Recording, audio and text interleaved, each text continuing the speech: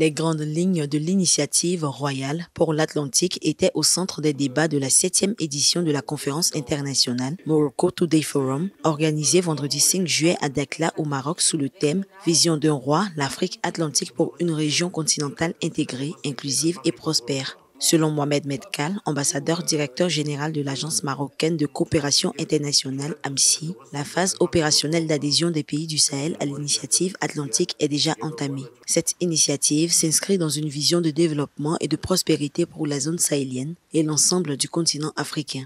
Tous les projets euh, qui ont été revus, discutés, enrichis et qui ont donné lieu à ce portefeuille euh, co-construit avec l'ensemble des pays du Sahel repose sur, place le partage euh, de l'expérience et de l'expertise au centre. Euh, ça, c'est le premier principe. Le deuxième, c'est que tous les projets ont un impact direct sur les citoyens. Donc le développement humain est au centre de l'ensemble de ces projets. Lancée le 6 novembre 2023, l'initiative royale pour l'Atlantique vise particulièrement à assurer un développement inclusif aux pays de la façade atlantique du continent et à faciliter un accès maritime aux pays enclavés du Sahel tels que le Mali, le Niger, le Burkina et le Tchad.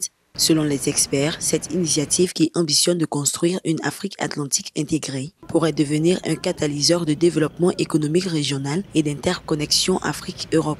Pour l'opérationnalisation de cette initiative, une task force nationale a été créée dans chaque pays, chargée de préparer les modalités de l'exécution de ce vaste chantier. Il y a des task forces qui coordonnent le travail au niveau de, chaque pays. Et donc, dans l'exécution, c'est cette approche mixte qui va être euh, mise en place, puisque les projets seront mis en place dans les pays, par les pays. L'expertise marocaine va être au service. Le financement euh, va être, le Maroc va accompagner pour lever les financements. Donc de manière innovante, on sortira des schémas classiques.